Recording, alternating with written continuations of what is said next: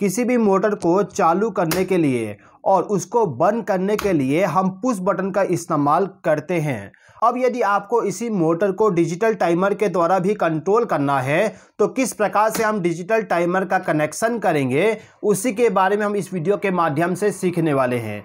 तो चलिए दोस्तों वीडियो को स्टार्ट करते हैं। तो दोस्तों, जो भी हमारा मोटर होता है, उस मोटर को चालू और बंद करने के लिए हम कॉन्टेक्टर का इस्तेमाल करते हैं। अब यहाँ पे जो हमारा मोटर है, इस मोटर के प्रोटेक्शन के लिए हम यहाँ पे एक ओवरलोड रिले का इस्तेमाल कर रहे हैं। इस ओवरलोड रिले को ले जाके हमने कॉन्टेक्टर के साथ में कनेक्ट कर दिए हैं। अब यहाँ पे जो हमारा मोटर है, इस मोटर को चालू करने के लिए और बंद करने के लिए हमें कंट्रोल वायरिंग करना पड़ेगा। और कंट्रोल वायरिंग में सबसे पहले हम यहाँ पे एक टू पोल का एमसीबी इस्तेमाल करेंगे। ये जो हमारा टू पोल का एमसीबी होगा, ये होगा हमारा कंट्रोल एमसीबी अब यदि आपको मोटर को किसी पर्टिकुलर टाइम पे चालू और बंद करना है तो उसके लिए आपको टाइमर का इस्तेमाल करना पड़ेगा। आप चाहे तो कोई भी टाइमर का इस्तेमाल कर सकते हो। यदि आपको टाइम को अलग अलग सेट करना है, यानी कि प्रोग्राम करना है तो आपको डिजिटल टाइमर का इस्तेमाल करना पड़ता है। ये डिजिटल टाइमर है ओके ये जो मेरे पास में टाइमर है, इस टाइमर को सीएनसी कंपनी के द्वारा बनाया गया है और इस टाइमर का मॉडल नंबर आप यहाँ पे देख सकते हो।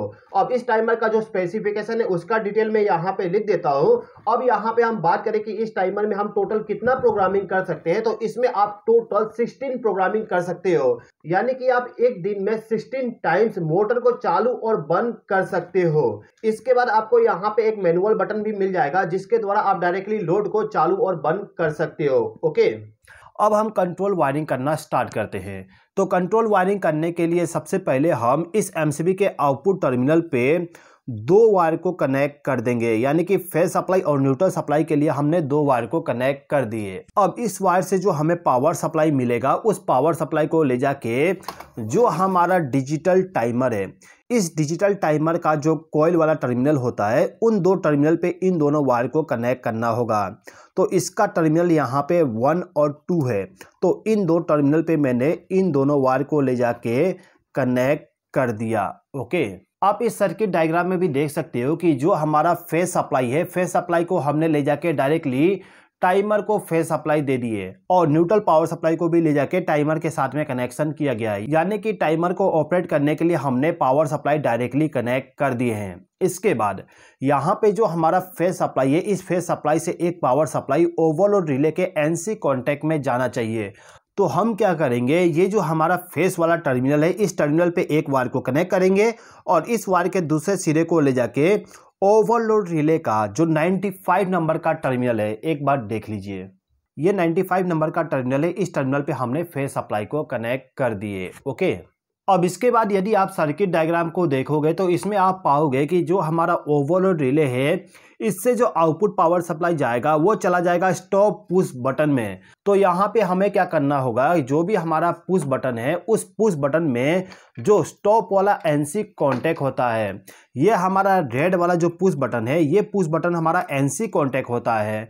आप देख सकते हो यहाँ पे लिखा भी हुआ है। तो इस एनसी कॉन्टेक्ट को हमें पावर सप्लाई ओवर रिले से ले जाके कनेक्ट करना है। तो मैंने यहाँ पे ऑलरेडी इन दोनों पुश बटन के साथ चार वायर को कनेक्ट करके रखा हूँ, जिससे कि हमारा टाइम सेव हो सके। ओके तो ये जो मेरा स्टॉप पुश बटन वाला एलिमेंट है, इस एलिमेंट के साथ में जो वायर कनेक्ट है ये वाला वायर मेरा कनेक्ट है। तो इन दोनों वायर में से कोई भी एक वायर को मैं ले जाके मेरा जो ओवरलोड रिले का एनसी कॉन्टेक्ट है, इस एनसी कॉन्टेक्ट के साथ इस वायर को कनेक्ट कर दूँगा। तो अभी हमने क्या किए, ये जो ओवरलोड रिले है, इससे पावर सप्लाई हमने स्टॉप पुश बटन में कनेक्ट कर दिए। अब इस स्टॉप पुश बटन का जो आउटपुट टर्मिनल है, इस टर्मिनल से जो पावर सप्लाई जाएगा, वो पावर सप्लाई हमें इस वायर में मिलेगा। अब इस वायर को हमें कहाँ कनेक्ट करना है, इसको भी हम समझ लेते हैं। तो जैसे कि आप देख सकते हो। इस सर्किट डायग्राम में बताया गया है कि स्टॉप पुश बटन से पावर सप्लाई हमारे सेलेक्टर स्विच में जाना चाहिए। तो हमें यहाँ पे एक सेलेक्टर स्विच का इस्तेमाल करना होगा। इस सेलेक्टर स्विच में आपको बहुत सारे टर्मिनल मिलेगा। इन टर्मिनल का पहचान करने के लिए आपको एक सिंपल तरीका इस्तेमाल करना है। आपको क्या करना होगा, सबसे पहले तो ऑफ़ कंडीशन में रख दीजिए। यानी कि यदि आप ज़ीरो पोजिशन सेलेक्ट करोगे तो उस कंडीशन में आपको किसी भी दो टर्मिनल पर कंटिन्यूटी मिलेगा। यहाँ पे जो मेरा एक नंबर और तीन नंबर का टर्मिनल है, ये कॉमन टर्मिनल है। यानी कि इस पर हमें इनकमिंग पावर सप्लाई देना होगा। उसके बाद यहाँ पे जो मेरा एक नंबर का पोजीशन है, यानी कि ये वाला जो पॉइंट है, इस पॉइंट पे यदि मैं सेलेक्ट करता हूँ तो इस कंडीशन में मुझे पावर सप्लाई दो नंबर के टर्मिनल सॉरी ये वाला दो नंबर का टर्मिनल है, इस टर्मिनल पे मुझे पावर सप्लाई मिलेगा ओके इसके बाद यदि मैं इस सेलेक्टर स्विच को दो नंबर के पोजीशन पे सेलेक्ट करूँ तो इस कंडीशन में मुझे आउटपुट पावर सप्लाई चार नंबर के पॉइंट पे मिलेगा। सेम टू सेम यहाँ पे दो और कॉन्टेक्ट है, इन दोनों कॉन्टेक्ट का भी सेम वर्किंग होगा। यानी कि पाँच और सात नंबर कॉमन टर्मिनल है। इसी प्रकार से नौ और ग्यारह कॉमन टर्मिनल है। अब इसका जो आउटपुट है, आपको यहाँ पे सिक्स और एट में मिलेगा और टेन और ट्वेल्व में मिलेगा। तो हमें यहाँ पे केवल एक कॉन्टेक्ट का आवश्यकता है तो हम यहाँ पे एक और तीन को कॉमन के जैसे इस्तेमाल करेंगे। दो नंबर टर्मिनल हमारा एक नंबर पोजीशन के लिए है और चार नंबर टर्मिनल हमारा दो नंबर के पोजीशन के लिए है। तो जैसे कि मैंने बताया कि इस वायर से जो आउटपुट पावर सप्लाई जाएगा, उस आउटपुट पावर सप्लाई को ले जाके हमें जो हमारा सेलेक्टर स्विच है, इस सेलेक्टर स्विच के कॉमन टर्मिनल पे कनेक्ट करना है। तो अभी के टाइम पे मैं ले जाके इस वायर को तीन नंबर के पॉइंट पे कनेक्ट कर दिया। तीन नंबर हमारा कॉमन टर्मिनल है ओके अब हमें क्या करना होगा? ये जो हमारा सेलेक्टर स्विच है, इस सेलेक्टर स्विच को जब हम एक नंबर पोजीशन पे सेलेक्ट करते हैं। यानी कि जब हम इस सेलेक्टर स्विच को इस पोजीशन पे सेलेक्ट करेंगे, तब उस कंडीशन में जो हमारा पुश बटन होगा, इस पुश बटन के द्वारा हमें मोटर को चालू करना है। तो इसके लिए हमें वायरिंग करना होगा। तो इसका वायरिंग करने के लिए जब हम सर्किट डायग्राम में देखेंगे तो हम यहाँ पे पाएँगे कि जो हमारा सेलेक्टर स्विच है सेलेक्टर स्विच का जो लोकल पोजिशन है, यानी कि एक नंबर जो पोजिशन है, उस पोजिशन से जो पावर सप्लाई जाएगा, वो जाएगा स्टार्ट पुश बटन में। और वहाँ से पावर सप्लाई डायरेक्ट चला जाएगा हमारे कॉन्टेक्टर के कोयल में, यानी कि ए वन टर्मिनल पे। तो जैसे कि आप देख सकते हो, ये जो मेरा स्टार्ट पुश बटन है, इस पुश बटन के साथ मैंने ऑलरेडी दो वायर को कनेक्ट करके रखा हूँ। अब इन दोनों वायर में से किसी भी एक वायर को आपको लेके जाना है। और जो हमारा सेलेक्टर स्विच है, इस सेलेक्टर स्विच का जो एक नंबर पोजिशन वाली टर्मिनल है, यानी कि ये जो दो नंबर का पॉइंट है, इस पॉइंट के साथ हम इस वायर को ले जाके कनेक्ट कर देंगे। अब इसी पुश बटन का जो दूसरा वायर है, यानी कि ये वाला वायर जो बच गया, इस वायर से पावर सप्लाई हमें ले जाके इस कॉन्टेक्टर को ऑन करने के लिए पावर सप्लाई देना है। तो इस कॉन्टेक्टर का जो ए वन टर्मिनल होता है, जैसे कि आप देख सकते हो, यहाँ पर ए वन लिखा हुआ है, ठीक है? यहाँ पर ए वन टर्मिनल है तो इस टर्मिनल के साथ में इस वायर को ले जाके कनेक्ट कर दूँगा। अब इसके बाद इस सर्किट डायग्राम को जब आप देखोगे तो आपको यहाँ पे एक चीज़ और मिलेगा कि ये जो हमारा कॉन्टेक्टर है, इस कॉन्टेक्टर का जो एनो कॉन्टेक्ट है, उस एनो कॉन्टेक्ट को स्टार्ट पुश बटन के पैरल में कनेक्ट किया गया है। ये जो एनो कॉन्टेक्ट यहाँ पे कनेक्ट किया गया है, इसको हम कहते हैं होल्डिंग सर्किट यानी कि हम स्टार्ट पुश बटन को प्रेस करके इसको रिलीज़ भी कर दे तो उस समय हमें कॉन्टेक्टर को ऑन रखना है तो उसके लिए हमें होल्डिंग सर्किट बनाना होगा। और होल्डिंग सर्किट बनाने के लिए हमें क्या करना होगा?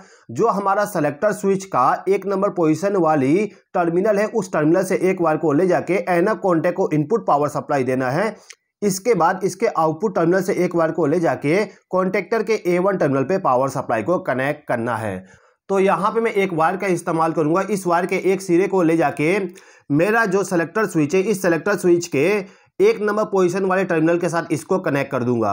अब इससे जो पावर सप्लाई आएगा, इसको हमें ले जाके जो हमारा कॉन्टेक्टर है, उस कॉन्टेक्टर का जो एनो कॉन्टेक्ट है, उस एनो कॉन्टेक्ट को इनपुट पावर सप्लाई दे देंगे। ओके अब इसी एनो कॉन्टेक्ट का जो आउटपुट टर्मिनल है, इस टर्मिनल के साथ हम एक और वायर को कनेक्ट करेंगे। और इस वायर का जो दूसरा सिरा है, इसको ले जाके जो हमारा ए वन टर्मिनल है कॉन्टेक्टर का, उस टर्मिनल के साथ हम इस वायर को कनेक्ट कर देंगे। अब इस कॉन्टेक्टर को हमें न्यूट्रल पावर सप्लाई भी प्रोवाइड करना होगा तो हम क्या करेंगे? ये जो हमारा टाइमर है, इस टाइमर को जो हमने न्यूट्रल पावर सप्लाई कनेक्ट किए थे, उसी टर्मिनल से हम एक और वायर को लूप करके हमारा जो कॉन्ट्रेक्टर है, इस कॉन्ट्रेक्टर को भी न्यूट्रल पावर सप्लाई प्रोवाइड कर देंगे, कुछ इस प्रकार से, ओके? इतना कनेक्शन करने के बाद यदि मैं यहाँ पे एमसीबी को ऑन कर देता हूँ उसके बाद ये जो स्टार्ट पुश बटन है इसको मैं प्रेस करूँ तो आप देख सकते हो मेरा कॉन्टेक्टर ऑन हो चुका है। और स्टॉप पुश बटन को प्रेस करने के बाद कॉन्टेक्टर ऑफ़ हो गया। आप देखिए contactor on contactor off okay okay, तो ये जो हमारा पुश बटन है इस पुश बटन के द्वारा हम कॉन्टेक्टर को चालू बंद कर पा रहे हैं। अब यहाँ पे हमें क्या करना है कि ये जो हमारा टाइमर है, इस टाइमर के द्वारा भी हमें इस कॉन्टेक्टर को चालू करना है। अब इस टाइमर का कनेक्शन करने के लिए केवल दो चीज़ें आपको करना पड़ता है। सबसे पहले तो इस टाइमर को ऑपरेट करवाने के लिए पावर सप्लाई देना होगा, जो कि हमने सबसे पहले ही इसको पावर सप्लाई प्रोवाइड कर दी है। अब यहाँ पे जो हमारा टाइमर है, इसका जो आउटपुट टर्मिनल है तीन, चार, पाँच, इन तीनों में से हमें केवल एनो कॉन्टेक्ट का इस्तेमाल करना है। तो यहाँ पे जो चार नंबर का पॉइंट है, वो हमारा कॉमन टर्मिनल होता है, पाँच एनओ और तीन एनसी कॉन्टैक्ट होता है। तो सबसे पहले हमें क्या करना होगा कि चार नंबर पॉइंट पे हमें पावर सप्लाई प्रोवाइड करना है।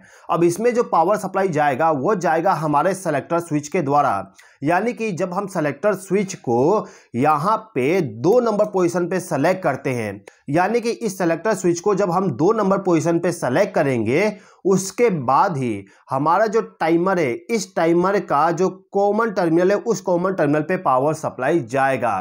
तो इस टाइमर का जो कॉमन टर्मिनल है, उस टर्मिनल पे मैं एक वायर को ले जाके कनेक्ट कर दूँगा। और उसी वायर का जो दूसरा सिरा होगा, उसको ले जाके हमें, हमारा जो सेलेक्टर स्विच है, इस सेलेक्टर स्विच का जो दो नंबर पोजीशन वाली टर्मिनल है, यानी कि चार नंबर का जो पॉइंट है, उस पॉइंट के साथ हम इस वायर को कनेक्ट कर देंगे। तो यहाँ पे हमारा पावर सप्लाई इस टाइमर में चला गया।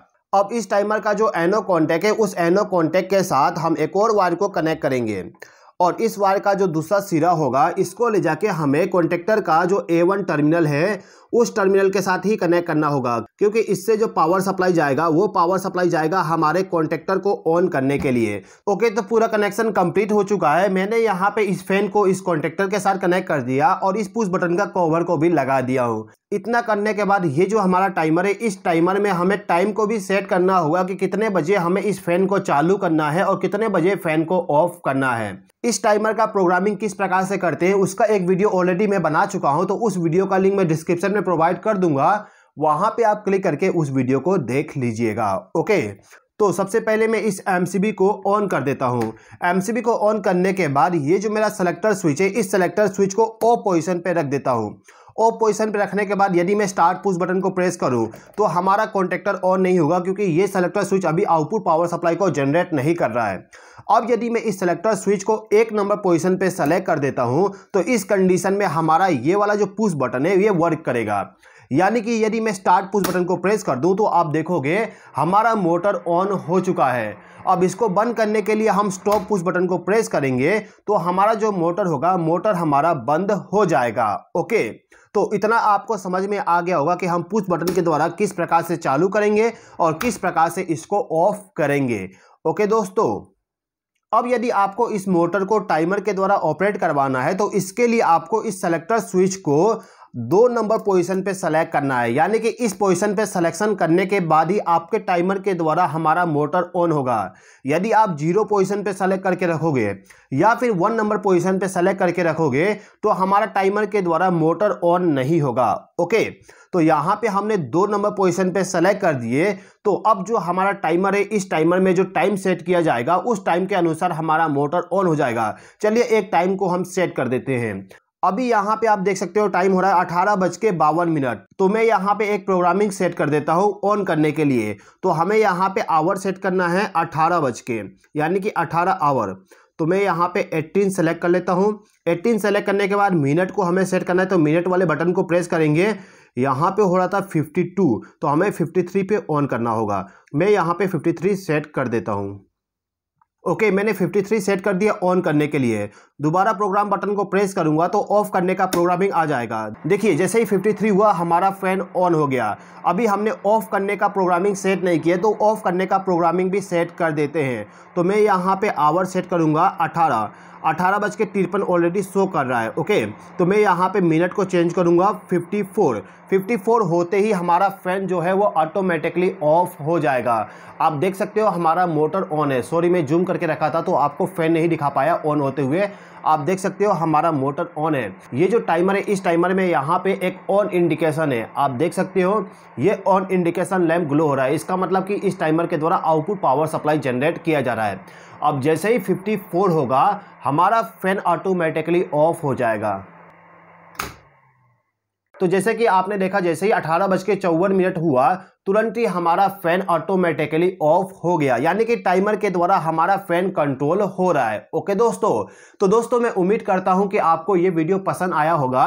यदि आपको ये वीडियो पसंद आया हो तो इस वीडियो पर लाइक शेयर और कमेंट कर दीजिएगा। और यदि आपने अभी तक हमारे चैनल को सब्सक्राइब नहीं किया तो सब्सक्राइब भी कर लीजिएगा। इस वीडियो को देखने के लिए धन्यवाद।